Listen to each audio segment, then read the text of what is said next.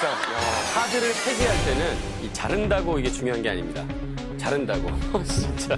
아직 카드 슬라이드는 아니잖아요. 이게 카드를 자르면은 버릴 때 한 군데다 버리면 안 돼요. 하나는 쓰레기통, 하나는 야외 분리수거 이렇게 나눠서 버려야지 진짜예요. 그거를 그냥 버리잖아요. 그러면 쓰레기통 버렸을 때 이게 모아 나오는 거 조각조각 맞추면요. 그 카드 번호도 그대로 있고 유효 기간도 확인할 수가 있어요.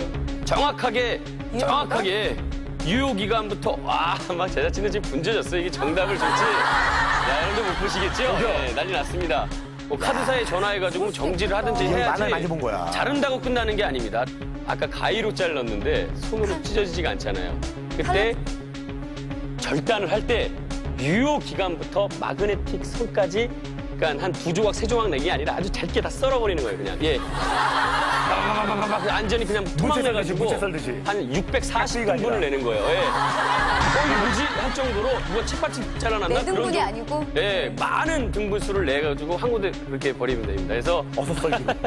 정답은 카드를 폐기할 때는 정확한 유효 기간 부분과 마그네틱 선 절단을 정확하게 해줘야 된다. 정답!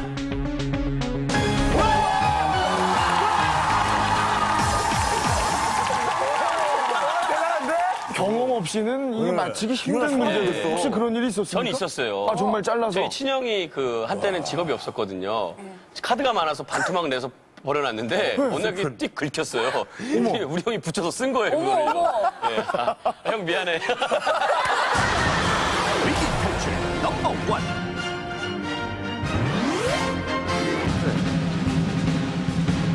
정답은 바로 카드를 해지하지 않고 잘라서 버렸던 것으로 보통 다 저렇게 이. 잘라진 신용카드를 주운 범인이 카드 조각을 붙인 후 재사용했던 것인데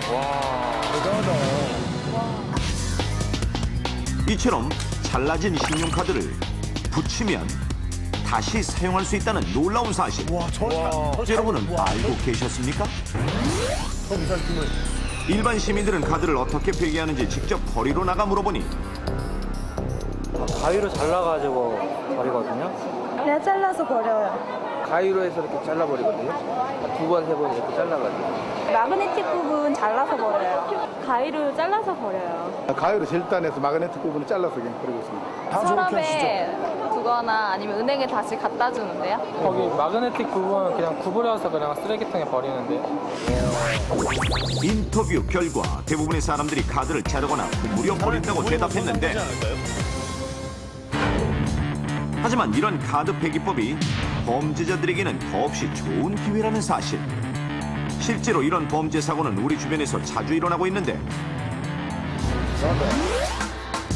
2005년 부산의 A씨가 가위로 잘라버린 신용카드를 회사 직원이 주어 접착제로 붙인 뒤 오, 저거 있지. 1,500만 원을 인출해 사용했던 사고. 2000년 서울의 B 씨는 카드를 여러 번 접어 구긴? 후 휴지통에 버렸지만?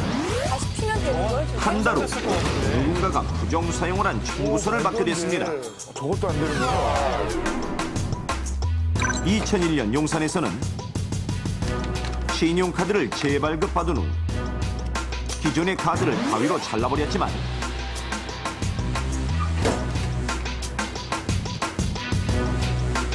부정 사용된 266만 원의 금액을 청구받은 사건 등 세 가지 사례 모두 이처럼 카드를 제대로 폐기하지 않아 금전적 피해를 입은 실제 사례입니다. 하지만 이미 잘려진 신용카드인데 어떻게 이런 일이 가능한 걸까요?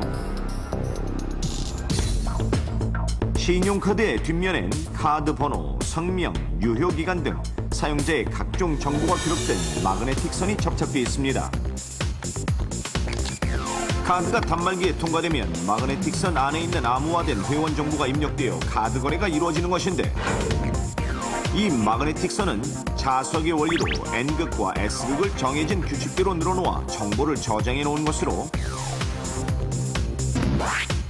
이것을 자르거나 버리더라도 저장된 데이터 자체가 망가지지 않았다면 다시 붙여 올바른 나열 방식을 만들어 사용할 수 있는 것입니다.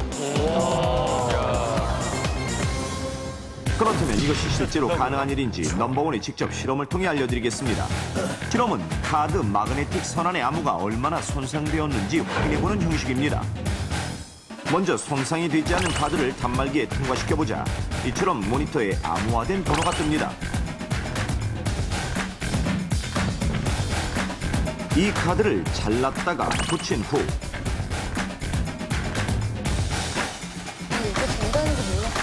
야, 저기 가능한가 봐요. 단말기를 통과시켜보니 되지 마라, 되지 마라, 되지 마라. 놀랍게도 아무 문제 없이 동일한 정보가 입력되는 모습. 하는 거 같아, 정말 뜨는데. 이번엔 카드를 구부려서 버리는 경우를 확인해 보겠습니다. 먼저 구부리기 전 카드 안의 정보를 입력해 암호를 확인해 본 후 이처럼 반복해 구부리고 저는 저렇게 구부려서 버리는데요. 단말기에 통과시키자. 안될 것 같아. 주름들이 그렇죠. 안 인식되지 않는 듯 하더니 곧 여지없이 정보가 입력됩니다. 실험 결과 여러 번 구부리거나 잘랐다가 다시 붙이는 경우 모두 카드 정보가 손상되지 않는다는 것을 확인할 수 있었습니다. 어떻게 해야 되는 거예요, 그럼? 자석으로 비비나요? 그렇다면 접착제를 이용해 붙인 카드로 실제 현금도 인출할 수 있을지 은행의 협조를 받아 확인해 보겠습니다. 먼저 제작진의 정상적인 카드에 현금 30만 원을 입금시킵니다.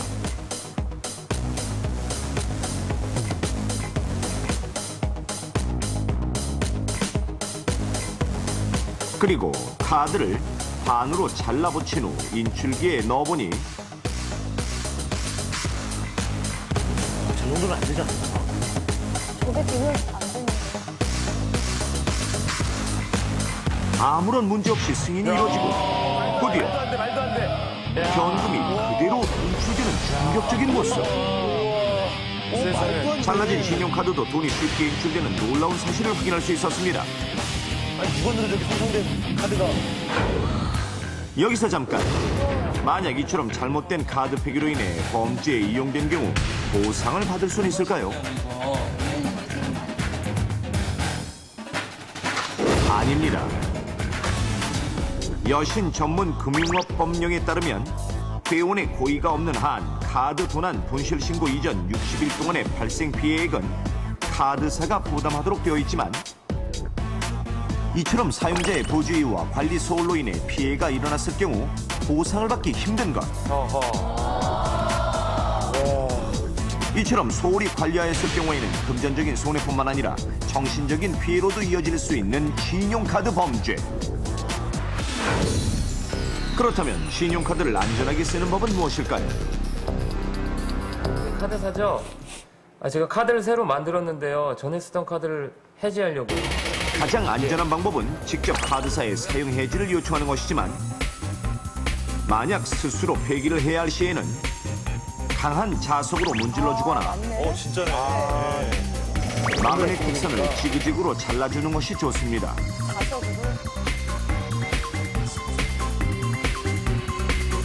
실제로 확인해보니 이처럼 정상적인 승인이 이루어지던 카드도 강한 자석으로 문지른 후 단말기에 통과시키자 전혀 입력되지 않는